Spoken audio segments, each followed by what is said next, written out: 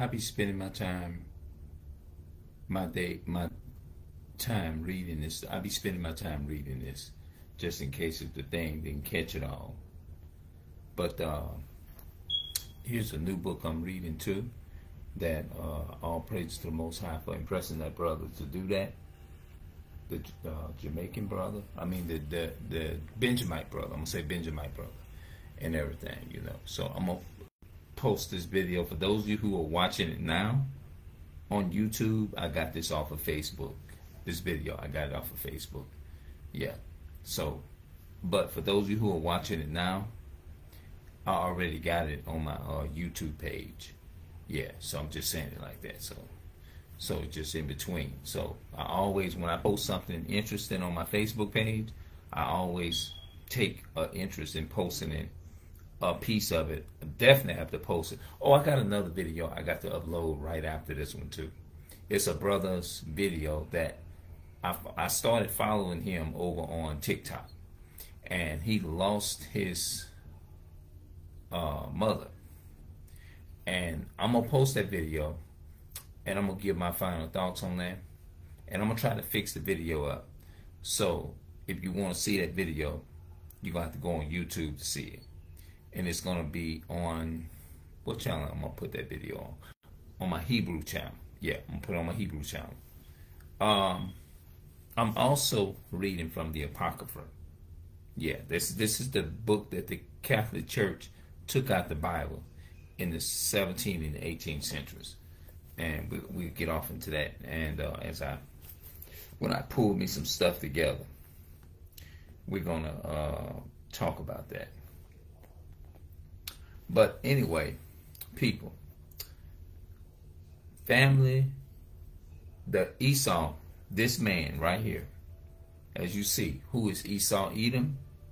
E A S U, Esau. This man is the cause of our people going astray. These people. That man is the cause of our people going astray. I can pick it up and I have such a passion for this truth, even though I had a reading problem coming up. But the Most High done blessed me so far is to be able to read. And I'm sitting in my word daily saying, Lord, please teach me how to read this stuff. Teach me how to be a better reader. You know what I'm saying? Because I want to get this word out. And a lot of our people is sitting down on this here. They have the gift of reading. They have the gift of reading and writing but they still they sitting down and occupying their mind with the things of this world, bro. We do not have time for that. We got to spend time in, in building ourselves up in the Word. If we don't spend time in building ourselves up in the Word, we're gonna find ourselves being being being goddamn deceived. That's what's gonna happen to us. Why do you have to wait until the devil tell you that he is the devil? Why you got to sit up there and wait till Esau tell you he the damn devil before you accept it? When you can just take the one, if he tell you, it's going to be too late. He ain't doing nothing but leading your ass astray. That's all he doing. Esau ain't doing nothing but leading your ass astray. That's all he doing. And you don't give a damn. You just study occupying your mind with the things of the world and you think for a minute that you're going to still get into the heaven, the kingdom of heaven. You think. None of us can and you think everything gonna go peaches and cream, you think that the world's still gonna go on, you think everything's still gonna be good and dandy, don't you? But guess what? You're fooling your damn self. But that's the way the enemy got you occupied. Do you know why they create the different things on TV? Is to keep your ass in sin. That's the whole purpose of it. But your but your ass can't see it. But I'm a mighty afraid your ass gonna wake up too late. When you wake up, it's going to be too late. But you sitting up in there giving all your, and then when it's time for you to defeat the enemy, look, I done made up my mind. I don't want nobody telling me no any motherfucking thing. Ain't nobody gonna tell me no anything. Cause guess what? I'm gonna make sure I do my research and I'm not gonna assume and give my own damn opinion. I'm not doing that do you believe? Do y'all do y'all follow the Bible? Y'all say y'all believe in the Bible, don't you? Let's go to Joshua twenty four fifteen. I'm gonna show you if y'all say y'all serving the same God. And I'm, I'm, i think I'm about to get off into more of this tomorrow. The book of Judges, Joshua. Yeah, Joshua. That's before the book of Judges.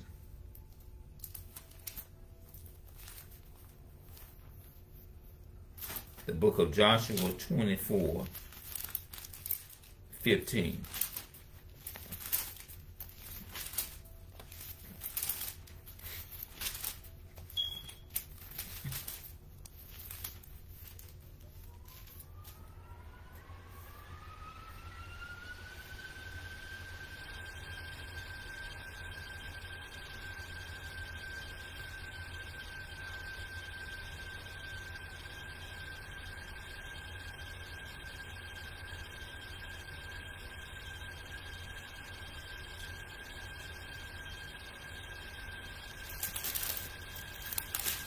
Joshua 24 15.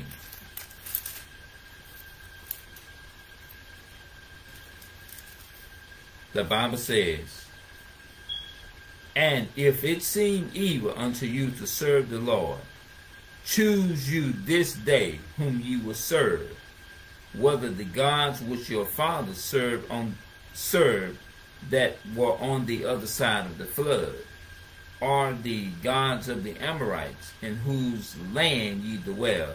But as for me and my house, we will serve the Lord. Now, when he says, If it seems evil unto you to serve the Lord, choose you this day whom ye will serve. That's what the Bible says.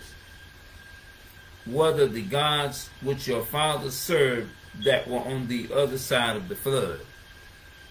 Remember the flood how they build the big tower, they worship the gods of Babylon. The Most High says, in other words, he's saying, choose if you're going to serve Babylon or you're going to serve God. When it say the gods on the other side of the flood, because after the flood, Noah's family is populated across the earth, right? And the whole family, through them three sons of Noah, depopulated and replenished they kept on replenishing the earth with, with, with offsprings and uh, generation of children. They kept generating and having children, right? So during the time of the flood, the Israelites started to going off. They started to build this big tower, and they reached the heaven, right? The reach to heaven mean that God's judgment has has was getting ready to come to place. When it says they built a tower so high whose top may reach to heaven. Right? And reach to heaven, meaning that God's judgment was almost that that vengeance, God's vengeance, vengeance wrath was almost full, bro. Um, let's look at uh, Genesis chapter 15 now. Let's go to Genesis 15.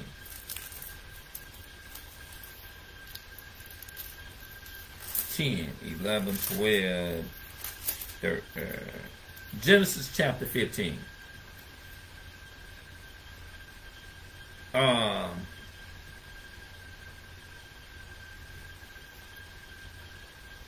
where is that? I know it's right here. It says, And thou shalt go to thy fathers in peace, and thou shalt thou shalt be buried in a good old age. But in that, but, verse 16, but in the fourth generation, they shall come hither again.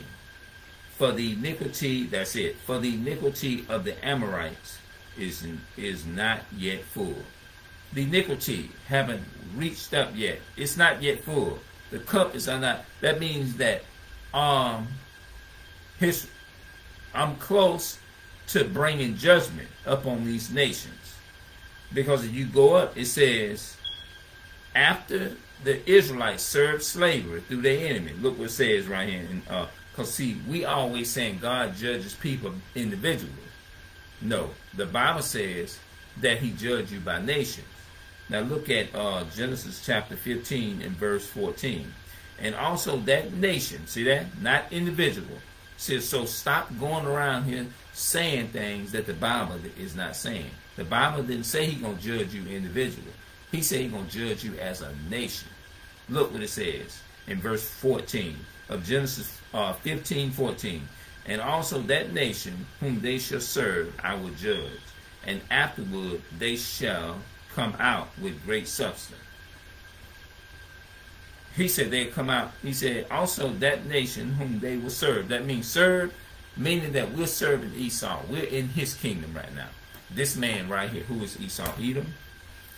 And uh, let's see here. Who is Esau Edom? Let's look at um,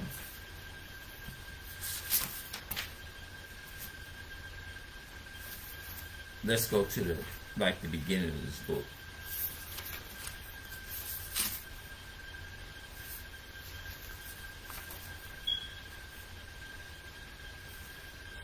The the legacy of Esau Edom. To help under, help answer the question, who is Esau Edom? The final necessary steps is to examine the racial and geographical history of Esau and his descendants life and history of Esau. Esau was the firstborn of Isaac and thus were heir to the birthright derived from the direct racial lineage of Adam to Noah to Abraham. Thus Esau was racially admitted a he was an Amite, uh, an an Adam, uh, Amite, a Shemite, a Hebrew, the racial stock of the white race. Okay? Just as Esau despised his birthright, Genesis chapter 25 and 34, when he sold it to Jacob, he also despised his race by marrying strange women outside of his race. Esau married the daughters of Canaan or Canaanites. See, Esau he wasn't keeping. The, he he he he would rather go out and do wicked rather than keep the God's commandments. That's why the Most High God says, you know, in Hebrews chapter 12 and 16, lest there be any fornicator or profane person as Esau, who for one morsel of meat sold his birthright. And you know, afterward, when he would have inherited the blessing, he was rejected, for he found no place of repentance. And see, a lot of our people have Esau's spirit upon them. You may be asking me, who is Esau then? Esau is the biblical name for the for the uh, for the Caucasian people. Genesis chapter 28 and verse 6 and Genesis 36 2. The daughters of Het of the Hittite, Genesis chapter 26 verses 34 and Genesis chapter 27 and verses 46 and Genesis 36 2 okay, the Hivites, Genesis chapter 36 2, had intermarried with the the Horites. Those were the other nations, like the like the Africans and the, like the people that enslaved the Israelite, Israelites. Genesis 36 19, verse 21. Jeshur, Joshua, Jeshur, Jeshur, chapter 30 and verse 28. These interracial marriages were a grief of mine to Isaac. Interracial marriage, it was a grief of mine to Isaac and Rebekah. Esau's parents, Genesis chapter 26, 35. The descendants of Esau from these marriages be, became known as Edomites or as Edom. Genesis chapter 36, verses 1 through 9. The Edomites also possessed some Israelites' blood. That means that that's when they went to uh, Esau went to in, in, intermingling with Ishmael, and then um, Esau's children went to start intermingling and mixing with the Israelites. You see what I'm saying? And that's how a lot of our people and a lot of us look a little kind of a little different because our people did interracial mixing and the most high that was these scriptures are showing that that was forbidden by the most high god never intended for us is to be dating outside our race you see what i'm saying he don't that that that's that's a sin against god when you go and you marry, if we do that, well, if I'm doing it, or well, if anybody, if I'm doing it, it's still a sin. You see what I'm saying?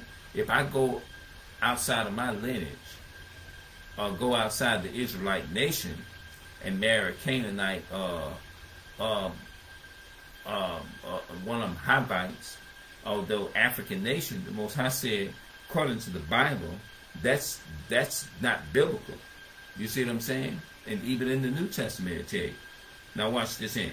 Esau and the Edomites dwelt in Mount Seir. That's Genesis chapter 36, verse 8 through 9, which God gave to Esau for a possession. Possession means something that you you own it. Genesis, uh, Deuteronomy chapter 2 and verse 5. Joshua chapter 24 verses verse 4. This land was also known as Idumea. That's another name for what we call the Caucasian people, or what some people would say the white people, or whatever. That's their biblical identity right there. Idumea, Esau, or Edom. It says in Genesis chapter 34 and verse 6, the land of Edom, Mount Edom, Mount Seir, lies south of it's gonna say that okay, the Dead Sea Scrolls stretching for I mean, stretching south to its seaport as Elam, Elad, uh, the, the De, De, Deuteronomy chapter 1 and verses 2 and and uh, verses 2, 1, and 8, including the ravine known as Patron, Patra. After the the conquest of Judah by the Babylonian, some of the Edomites who had mixed with the Jews in their land res, res, resided, res, resetting with them, resettled with them in Judah. Jeremiah chapter 40, verse 11 and 12. Okay? It says, two centuries later, all of Edom were driven out of Mount Seir. The Edomites were driven from Petra, Petra westward by the Nabian, the Nabians, the Nabi, Nabians in uh, 312 BC.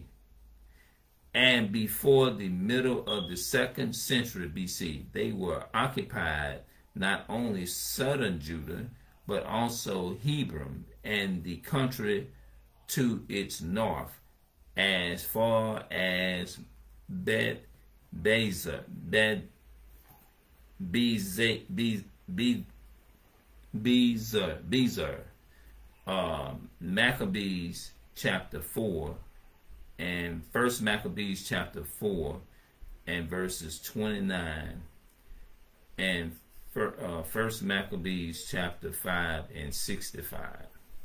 Matter of fact, since let's look it up. I think it's going to be a pretty long video. But that's all right. It's not my plan, it's the most high plan. So let's let's get with it. Yeah, see, you got to we got to learn how to do our research, man. We can't be sitting up just occupying our mind with other stuff. We have no time for that you know? But do you know a lot of people hate me for being in and doing what I'm doing? A lot of people hate me. And when I say people, Esau put that spirit up on our own family members. And I, and even our own family members hate us for this. Because we calling out the real thing. You know? And it's sad. First Maccabees 4 and 29. Let's read that. First Maccabees chapter 4. Just it. Okay, here we go. First Maccabees chapter 4. I should have had my glasses on. Yeah, let me get my glasses. Hold on a second.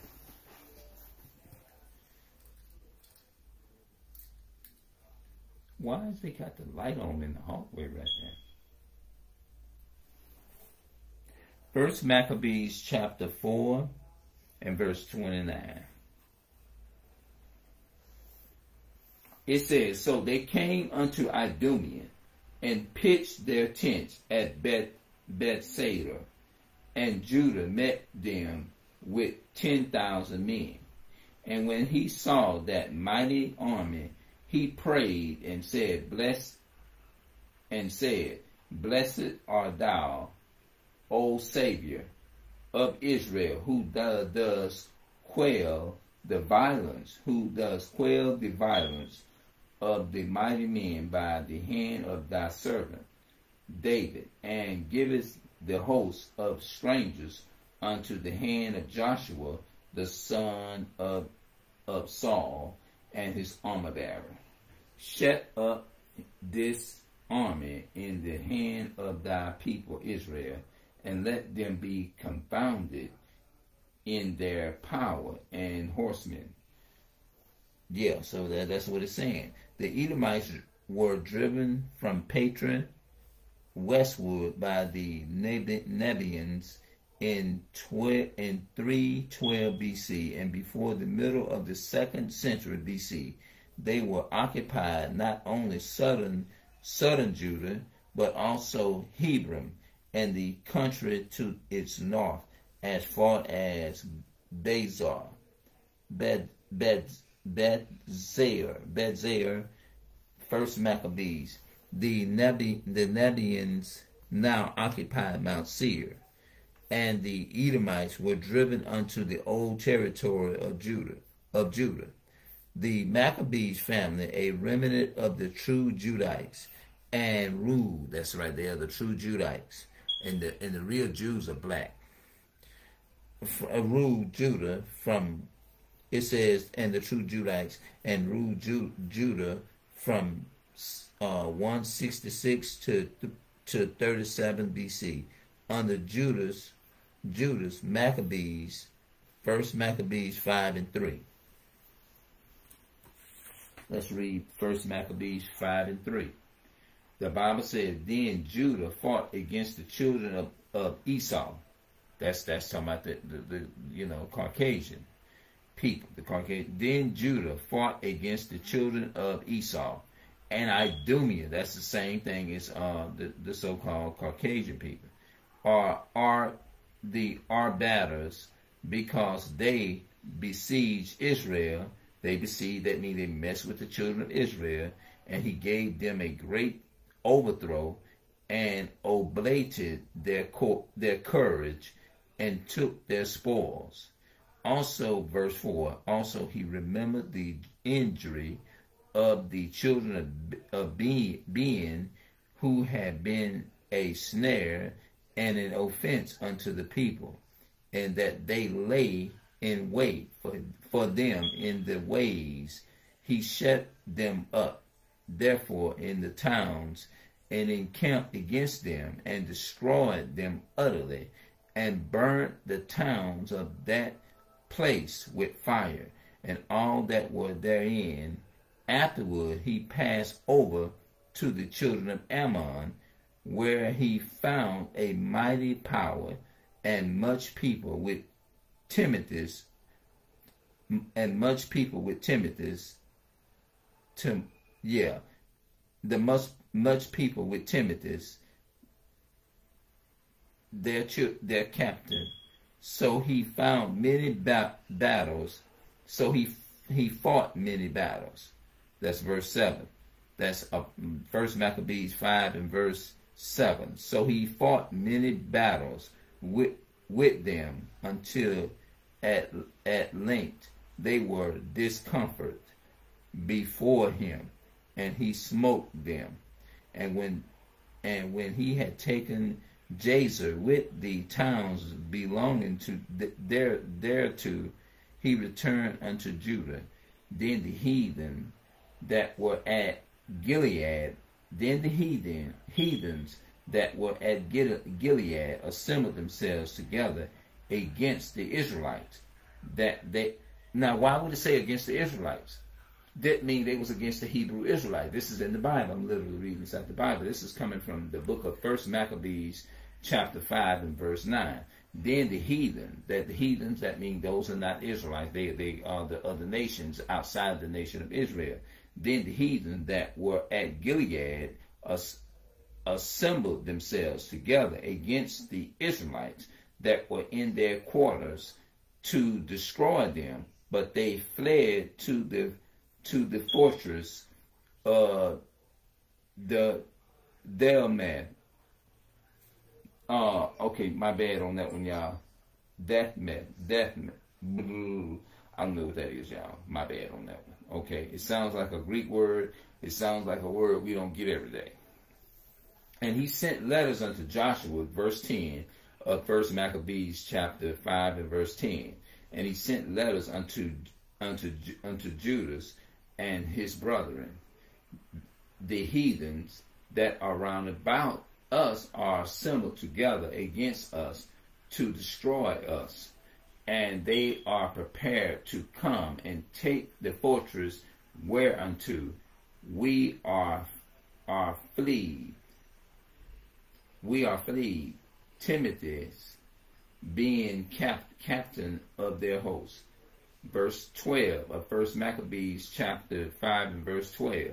Come now, therefore, and deliver us from their hands, for many of us are slain.